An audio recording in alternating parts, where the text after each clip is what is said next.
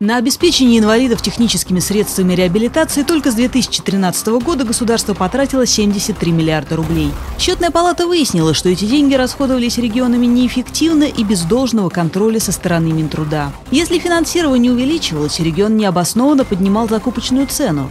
Если снижалось, протезы могли приобретаться по ценам предыдущего года, причем одного и того же поставщика. В итоге на помощь одному инвалиду в Тюменской области государство тратило в 6 раз больше, чем в Новгородской. Существенно увеличивает затраты и то, что основными поставщиками изделий выступают торговые организации, а не производители. Например, региональным отделением ФСС по Санкт-Петербургу ортопедические аппараты местного производства приобретались у посредника за 168 тысяч рублей, когда могли быть куплены у изготовителя всего за 27 тысяч тысяч. По мнению аудиторов, решить эту проблему поможет установление референтных цен на отдельные виды закупаемых изделий. Однако в настоящее время ни Минтрудом, ни ФСС в этом направлении работа не ведется.